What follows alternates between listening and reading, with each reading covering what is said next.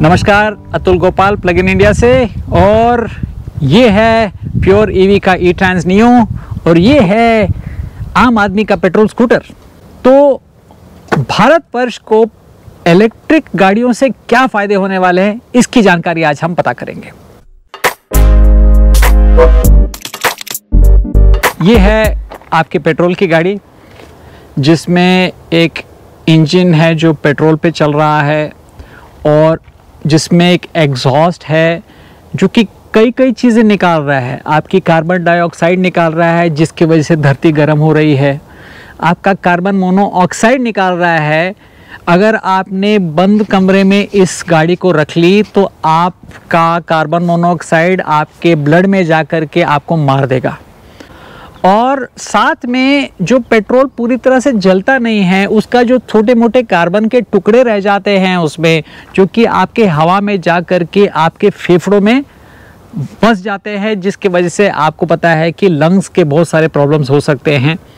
और ये है आपकी बैटरी वाली गाड़ी, जिसमें एग्जॉस्ट है ही नहीं, जिसमें आप सिर्फ़ बिजली अंदर डाल रहे हैं और मोटर को घुमा रहे हैं बैटरी का चार्ज ख़त्म हो गया, आपने फिर से बिजली को कनेक्ट किया और फिर से मोटर को चार्ज किया। तो सिगरेट के पैकेट पे आपका एक स्लोगन लिखा रहता है कि सिगरेट पीना आपके सेहत के लिए हानिकारक है। पेट्रोल के स्कीटर पे ऐसी वार्निंग क्यों नहीं लगाई जाती? क्योंकि इसका भी चलाना आपके सेहत के लिए हानिकारक है। तो ये है आपके जंगल की हवा और ये है आपका सिगरेट का धुआँ। पेट्रोल बनाने वाले मैन्युफैक्चरर्स का ये एक एलिगेशन है इलेक्ट्रिक स्कूटरों पे कि भैया, बिजली कहाँ से आपकी बन रही है? वो तो कोयले से जला करके आपकी बन रही है और कोयला जलाना में प्रदूषण ज़्यादा होता है कंपेयर टू पेट्रोल जलाना। लेकिन ये गलत कह रहे हैं। क्योंकि एक पूरा रिसर्च आपका इंडिकेट कर रहा है साइंटिफिक रिसर्च जो हुआ है, कि अगर आपकी गाड़ी कोयले के बनाए हुए बिजली से चल रही है तो भी पेट्रोल के गाड़ी से कम पोल्यूशन क्रिएट कर रही है। ठीक है? दूसरा, जो ये लोग आपको नहीं बता रहे हैं कि आज के दिन में भारत की 40 प्रतिशत बिजली रिन्यूएबल सोर्सेस यानी कि हाइड्रो इलेक्ट्रिसिटी विंड सोलर से आ रही है। इनफैक्ट पिछले पाँच सालों में कोई भी नया कोयले का प्लांट नहीं आया। जो भी एनर्जी का एडिशन हो रहा है, वो सारा का सारा रिन्यूएबल हो रहा है। मतलब कि सिचुएशन और इम्प्रूव हो रही है इलेक्ट्रिक के लिए। और आने वाले सालों में 50, 60, 70 प्रतिशत जो बिजली है आपके वो रिन्यूएबल की होगी। इसका मतलब कि आपकी जो इलेक्ट्रिक गाड़ी है वो और भी ज़्यादा क्लीन होते जाएगी साफ़ सुथरी होते जाएगी प्रदूषण का नुकसान नहीं करेगी।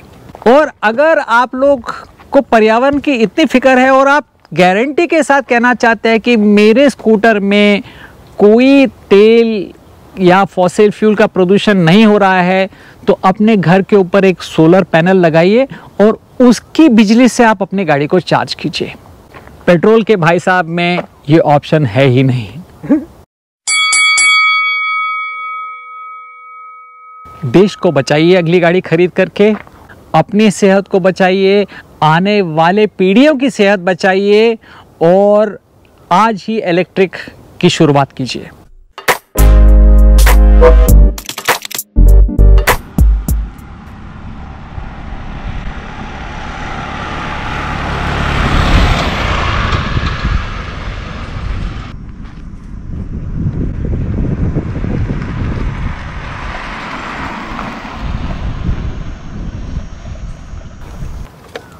और एक चीज़ जो आप लोग को ध्यान में नहीं आता है और शायद बिजली वाली गाड़ी चलाने के बाद ही ध्यान आए कि हम एकदम शांत वातावरण में हैं। और अब हम आपको सुनाएँगे कि पक्षियों की आवाज़ से कितनी ज़्यादा इस गाड़ी की आवाज़ है। ठीक है? देश मर रहा है, दुनिया मर रही है, इसको बंद कीजिए। अब हम इलेक्ट्रिक गाड़ी की तरफ़ आते हैं। गाड़ी शुरू हो गई। कोई आवाज़ नहीं। हल्की सी एक मोटर की सुनहरी आवाज़ और बस, जंगल में मंगल।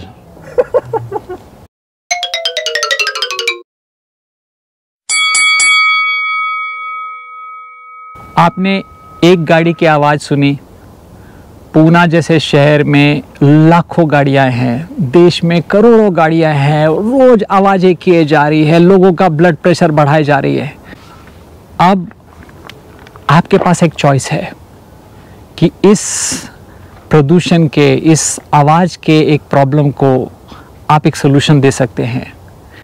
इलेक्ट्रिक लीजिए, देश को बचाइए।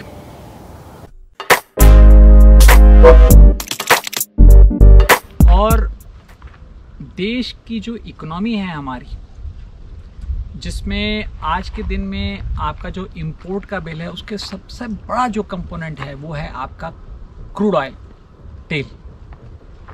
तो आप जितनी गाड़ियाँ चला रही हैं, बाकी दूसरे देशों को आप फ़ायदा दिला रहे हो। बनस्बत ये कि जो बिजली है, वो आपकी सारे मेड इन इंडिया है, और जितना चाहे हम उसका प्रोडक्शन बढ़ा सकते हैं बिजली का। तेल का हम लोग प्रोडक्शन नहीं बढ़ा सकते हैं। तेल का इनफैक्ट भारत के अंदर का जो प्रोडक्शन है वो नीचे गिर रहा है। देश के इकोनॉमी के हित में ये रहेगा कि जो भी लोग आज पेट्रोल की गाड़ियाँ चला रहे हैं, चाहे स्कूटर हो, चाहे मोटरसाइकिल हो, चाहे कार हो, चाहे बस हो, वो बैटरी और इलेक्ट्रिक पे कन्वर्ट हो जाए।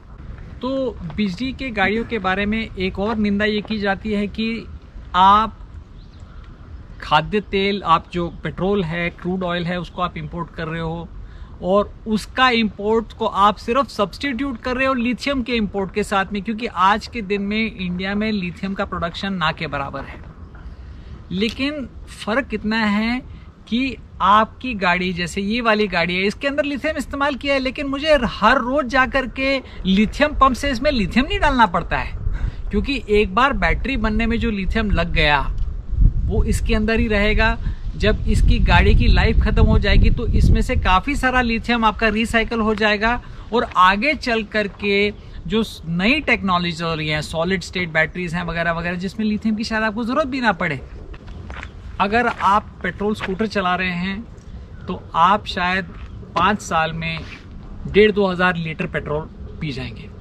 अगर आपके पास गाड़ी है तो उसको आप पाँच गुना, यानी कि दस हज़ार लीटर की आपकी खपत होगी।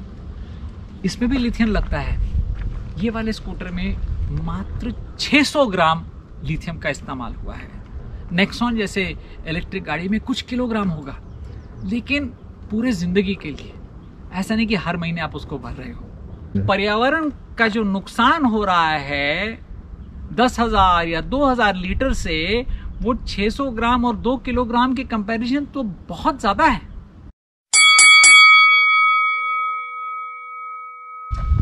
आज के दिन में दूसरा एक जो निंदा की जाती है ईवी इंडस्ट्री की, कि सब कुछ चाइना से आ रहा है, इंडिया में कुछ नहीं बन रहा है। शायद लोग नहीं जानते हैं कि इंडिया वर्ल्ड का सबसे बड़ा थ्री व्हीलर मार्केट है। और जितने भी थ्री व्हीलर बन रहे हैं आज के दिन में इंडिया में, वो शत प्रतिशत मेड इन इंडिया हैं।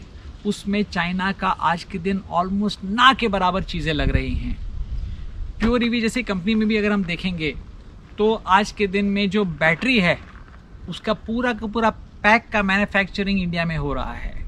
इसकी चैसी लुधियाना से आ रही है।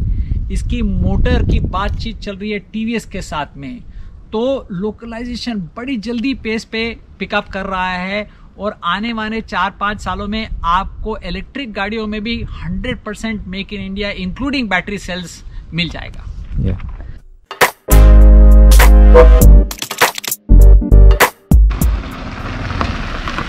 तो पेट्रोल की गाड़ी में आवाज़ वाइब्रेशन राइड कंफर्ट नाम की कोई चीज़ है नहीं। एक बार आप इलेक्ट्रिक चलाएँगे तो आपको फ़र्क पता चलेगा। हाँ पेट्रोल की जो गाड़ियाँ रहती हैं उसमें आपको जो टॉर्क मिलता है वो करीब इंजन के 2000-3000 आरपीएम के स्पीड पे सबसे ज़्यादा मिलता है। इसीलिए आपको एक्सेलेटर दबाना पड़ता है और धीरे धीरे गाड़ी आगे हिलती है। आ, दस साल इलेक्ट्रिक गाड़ियाँ चलाने के बाद जब मैं पेट्रोल की गाड़ी चलाता हूँ तो हड्डियाँ हिल जाती है।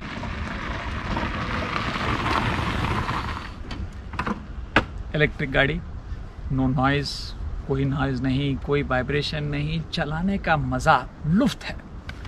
ठीक है? तो एक बार आपने इसको एक्सपीरियंस कर लिया तो आप वापस पेट्रोल पे नहीं जाएँगे। इलेक्ट्रिक गाड़ी का जो टॉर्क है वो ज़ीरो आरपीएम पे मैक्सिमम होता है। यानी कि जब आप शुरू करते हो तो आपको पूरा टॉर्क ज़ीरो स्पीड पे मिल रहा है। आपको 2000 3000 आरपीएम पे इंजन को चलाने की ज़रूरत नहीं पड़ती है, वो टॉर्क लाने